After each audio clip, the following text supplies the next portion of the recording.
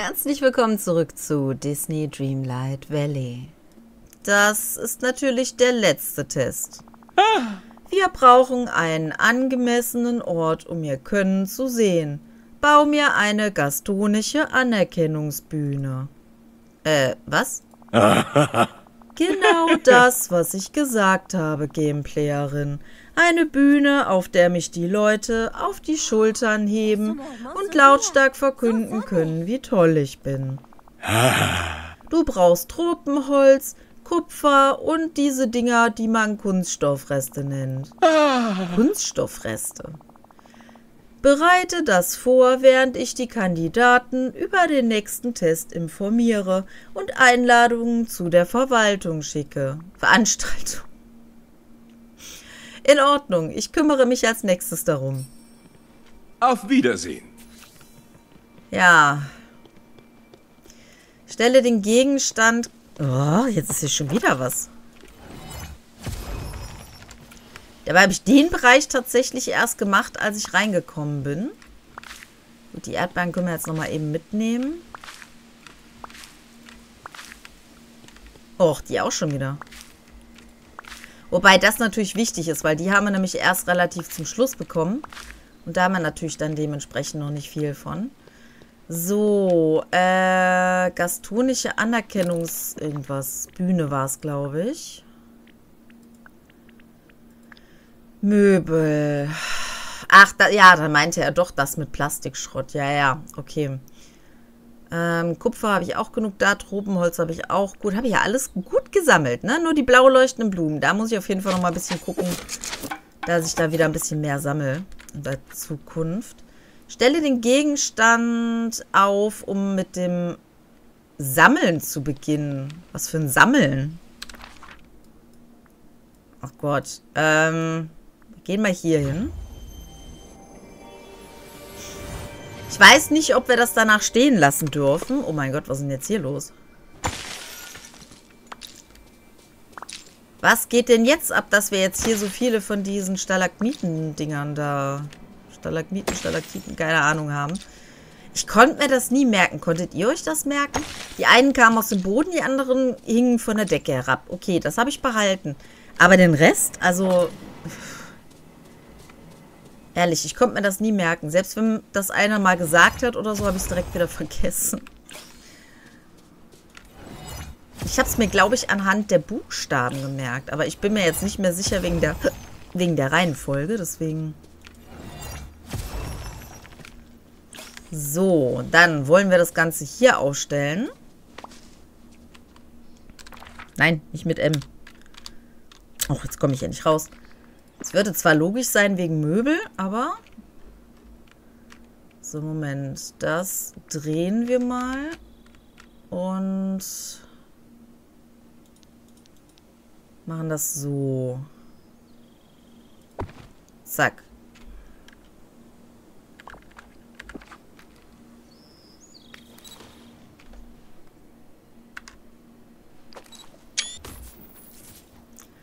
Ja, Bild machen. Kann ich das noch ein bisschen drehen? Ja. Ich glaube, doch, Rapunzel guckt zumindest noch ein bisschen besser. ah, ja, okay. Rapunzel, guckst du auch mal mit zwei Augen oder ne? Ich glaube nicht mehr, ne?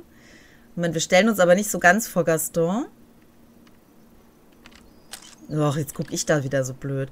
Mann, ich möchte ein gutes Bild haben, wo ich nicht direkt vor Gaston stehe. Dein Ernst jetzt? Nein, will ich nicht. Ach, komm. Kann dieser Idiot jetzt mal weggehen? Wolli, geh mir aus dem Bild. Ich will hier ein vernünftiges Bild hinkriegen. Wo ich drauf bin, wo die anderen drauf sind, wo du nicht drauf bist. Oh Gott, ist das denn so schwer. Ah, sowas nervt mich. Man möchte ein richtig tolles Bild machen, weil ich sehe jetzt scheiße aus auf dem Bild. Sind wir mal ganz ehrlich. Aber das sieht jetzt auch scheiße aus, wenn ich das jetzt hier mit fotografiere. Ähm...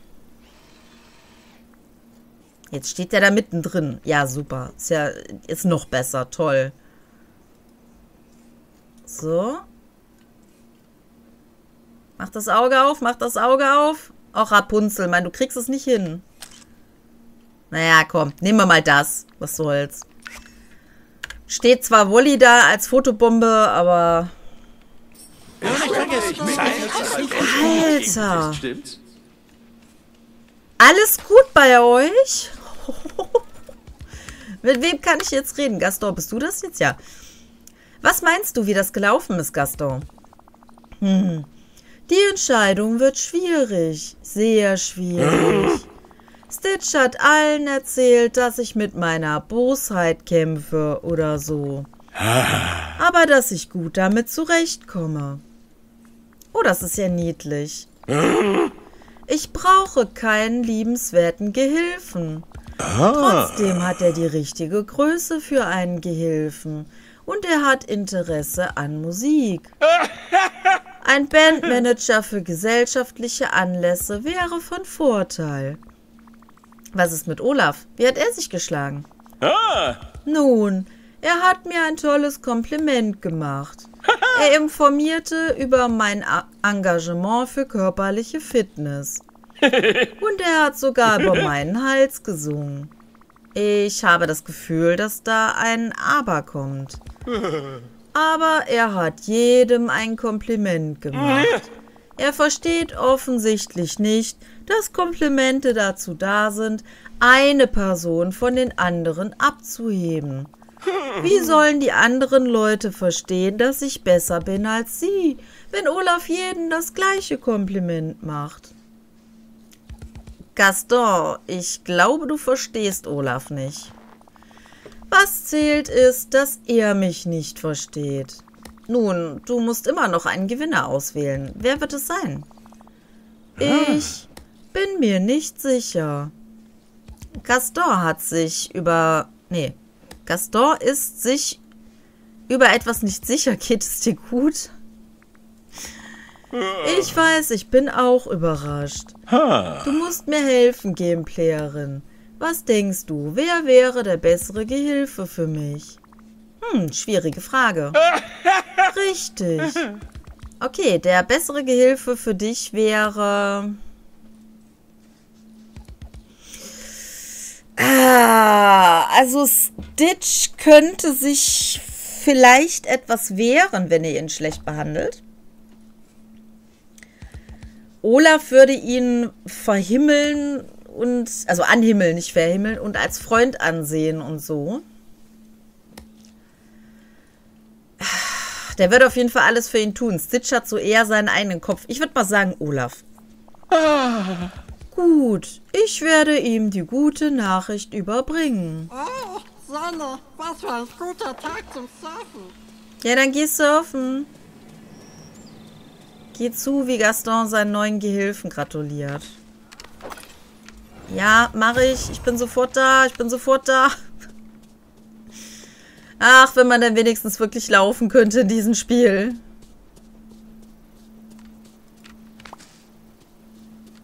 Sieht schon cool aus, was sie da hinten macht. Sie redet mit den Schmetterlingen. Olaf, ich habe gute Nachrichten für dich. Du hast gewonnen. Du bist mein neuer Gehilfe. Ach, wirklich? Heißt das, dass ich dich jetzt liebevoll umarmen kann? Was? Nein, das ist nicht akzeptables Gehilfenverhalten. Bist du sicher? Ich habe nämlich gelesen, dass... Es reicht. Fang an, an deinen Komplimenten zu feilen. Ich habe sie schon viel zu lange vermisst. Na gut, aber eines Tages wirst du mich um eine Umarmung bitten. Oh, möchtest ah. du mit mir was unternehmen? Gratuliere, Olaf, okay? Oh gut, du bist hier. Herzlichen Glückwunsch, Olaf. Du hast gewonnen. Ja. Ich weiß, ich bin so aufgeregt. Ah. Ich werde versuchen, der beste Gehilfe aller Zeiten zu sein. Ich bin sicher, das wirst du. Lass dich nur nicht zu sehr von Gaston herumkommandieren. Hm. Oh, ich bin sicher, wir werden uns gut verstehen. Und eines Tages wird er mich um eine herzliche Umarmung bitten. Äh, viel Glück dabei, schätze ich. Oh, danke. Das macht mich so glücklich.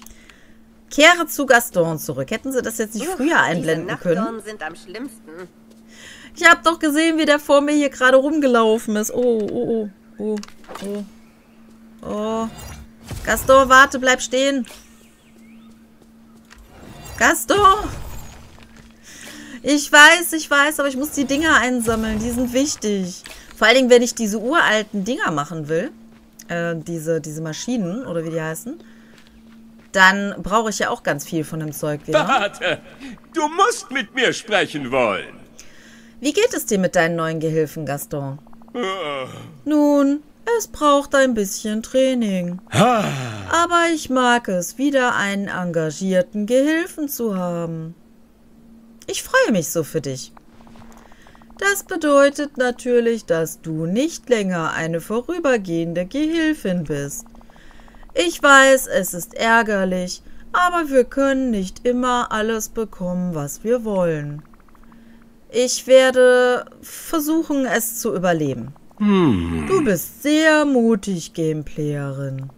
Nun dann, du hast eine ganze Menge Arbeit für mich geleistet. Ich nehme an, ich sollte dich dafür belohnen. Wie nett von dir. Das ist es, nicht wahr? Immerhin bist du ehrlich, denke ich. Bitte sehr, Gameplayerin.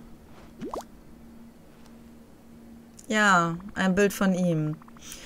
Nun, trotz allem, ich bin froh, dass du dich im Tal eingelebt hast.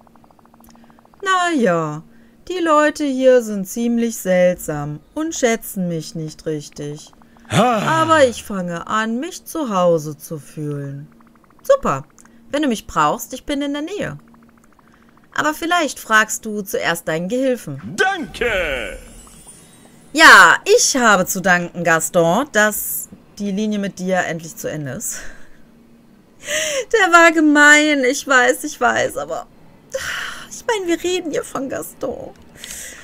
Ja, wunderbar. Dann können wir in der nächsten Folge mit Rapunzel weitermachen. Dann brauche ich allerdings ein bisschen Zeit dazwischen, um die noch zu leveln.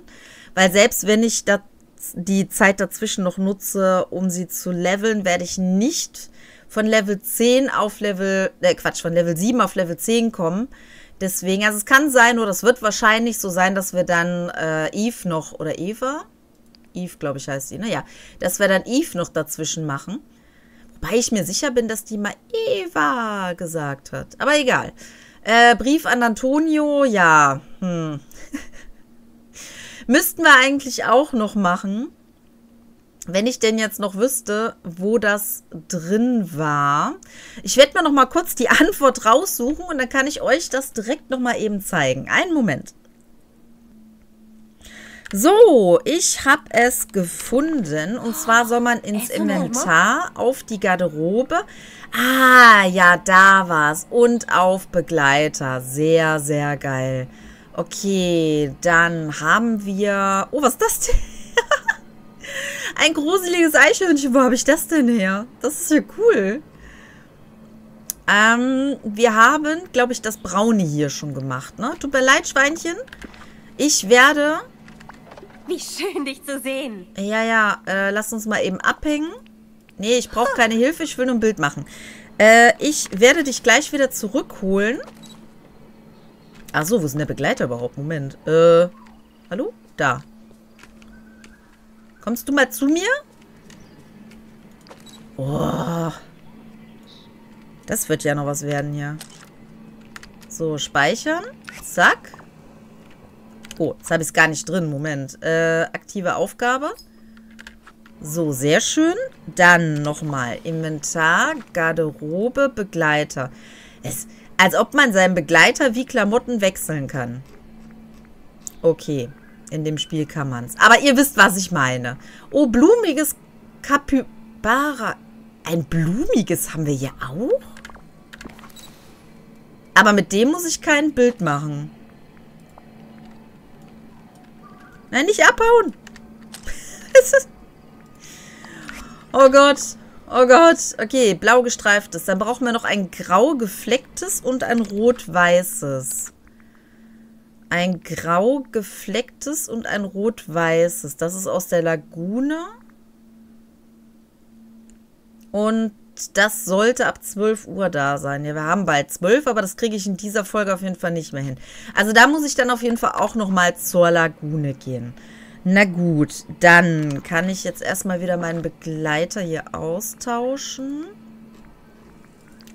Ich will meinen Schweini wieder haben. Der erinnert mich nämlich immer an ein Hola. Schweinchen. Schweinchen, glaube ich, hieß der. Nee, oder nur Schwein, ich bin mir nicht sicher.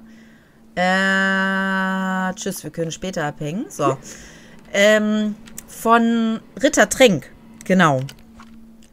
So. Ach so, genau. Jetzt weiß ich wieder, was ich noch machen wollte, weil das Ganze hat jetzt so lange gedauert, dass ich das eh in zwei Folgen unterteilen werde, beziehungsweise, wenn ihr das hier seht, schon unterteilt habe.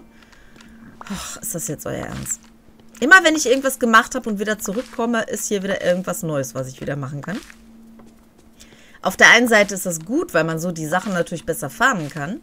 Auf der anderen Seite ist es auch ein bisschen nervig, weil man möchte es natürlich nicht, ste nicht stehen lassen. Jetzt habe ich gerade alles abgeerntet, kommt das nächste. Ja, super. Oh, Leute. Ich wollte das doch alles gar nicht hier in dieser Sendung machen. Also in der Folge. Noch was? Nicht, dass da wieder irgendwas hier, ne? Ah, okay. Wir gehen zu Dagobert. Ich weiß nicht, ob ihr alle das sehen wollt, aber ich habe gelesen, Hallo. es gibt Leute unter euch, die gerne sehen würden, Hey! was es alles so gibt Ah, hier. Die Sonne glänzt fast so hell wie mein Geld. Toy Story, Halbschalenstuhl. Oh! Auf Wiedersehen und bis Oder bald. hinten war noch was von Toy Story, habe ich gerade gesehen. Die Eiskö... Ach, Toilettenkorb. Uhuhu. Ich habe gerade irgendwie an was anderes gedacht. Ich weiß auch nicht, was ist das Hallo. denn schon wieder? Monster AG, Sockenhaufen. Hey! Ach, ja, die echten Monster. Ich weiß gar nicht mehr, wie das im Monster AG war. Aber die echten Monster, in Hey. Anführungszeichen, da heißt das ja immer, dass die die Socken klauen. Das heißt, bei mir wurde es immer so gesagt, äh, dass die, die Waschmaschine die Socken klaut. Was übrigens auch irgendwie richtig ist, weil ich verliere da auch hin und wieder mal Socken drin. Also ich weiß nicht, was diese Waschmaschinen alle mit den Socken machen wollen. Die können die ja nicht anziehen, aber vielleicht sind die auch eifersüchtig und gerade weil sie sie nicht anziehen können, sorgen die dafür, dass die immer wieder wegkommen. Ich habe keine Ahnung. Also meine ist anscheinend sehr eifersüchtig, weil meine hat schon mal öfter Socken verschluckt. Oh! Aber immer nur einzelne. Also ich habe noch nie gehabt, dass ein paar Socken weggekommen ist. Auf Wiedersehen und bis bald. Also wenn man die Ringe so anzieht, wie Hallo. das da jetzt gerade drin war, dann sieht das aber Hey. irgendwie... Diese Schuhe. Oh, ich bin am Fliegen, sehe ich gerade. Ich bin ganz ehrlich, die Schuhe in Disney Dreamlight Valley sind mega hässlich. Diese Stiefel oder auch andere Stiefel, die sehen noch ganz cool aus. Aber ich habe mir mal Schuhe angezogen, verschiedene. Und ich bin ganz ehrlich, es sah absolut scheiße aus. Die Schuhe, äh, die Füße wirkten da drin wie so ein Haufen, ja, Fleisch, so ein Klumpen einfach nur.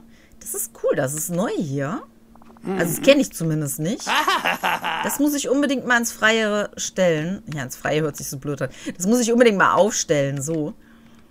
Oh! Das wäre dann eher so ein bisschen bräunliches. Äh. Ach, das ist von den Kanten. Okay. Oh, ich hoffe, mein Geldspeicher hält dicht. Ja, ich muss halt so viel bei dir kaufen. Ich, ich kann doch nichts dafür. Alles, was ich noch nicht habe, muss ich auf jeden Fall einmal gekauft haben. Weil so wie ich das mitbekommen habe, kann man die Sachen nur nachbestellen, wenn man sie tatsächlich schon mal gekauft hat. Oder eben, wenn äh, sie im Sortiment drin sind. Ich meine, das hat Dagobert auch mal gesagt. Ganz am Anfang. Das haben wir in Hallo. der Farbe auch noch nicht gehabt. Da bin ich mir nicht sicher. Nee, anscheinend nicht. Hallo? Von Cinderella ist das, okay. Es Oh, ist ziemlich halt, toll, stopp. nett du zu jedem bist. Ja, es tut mir leid, aber den habe ich schon. tut mir leid, Dagobert, sei nicht traurig, lauf doch nicht weg. Nein, jetzt bleibt er auch noch stehen. Ich wollte ihm aber eigentlich nicht hinterherlaufen, ich wollte nur rausgehen. Ach, und schon stalkt die mich schon wieder. So. Ja. Ja. Wir machen es mal so. Wir tun einfach so, als ob sie nicht da ist. Ähm, ich werde dann mal schauen, dass ich das noch irgendwie hinkriege, dass wir, also nicht bis zur nächsten Folge, das werde ich nicht hinkriegen, weil die werde ich jetzt direkt hier nach aufnehmen. Aber dass ich dann vielleicht das heute, na nee, heute geht ja gar nicht, weil dann sind die nicht da, ne? Also die, das eine Viech, das könnte äh, gegen 12 Uhr kommen. Aber das andere, dieses rot-weiße was, glaube ich, das äh, kommt, ist ja heute gar nicht da in der Lagune. Deswegen muss ich da echt mal gucken, ja, wie ich das mache. Ähm, ja, schauen wir mal. Ich habe keine Ahnung.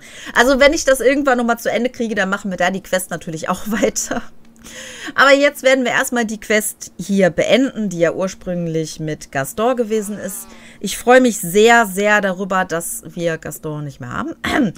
Und ja, ich habe so das Gefühl, dass er irgendwie abgefärbt hat. Also ich fühle mich selbst schon ein bisschen verblödet jedes Mal, wenn ich da Quests mit ihm gemacht habe.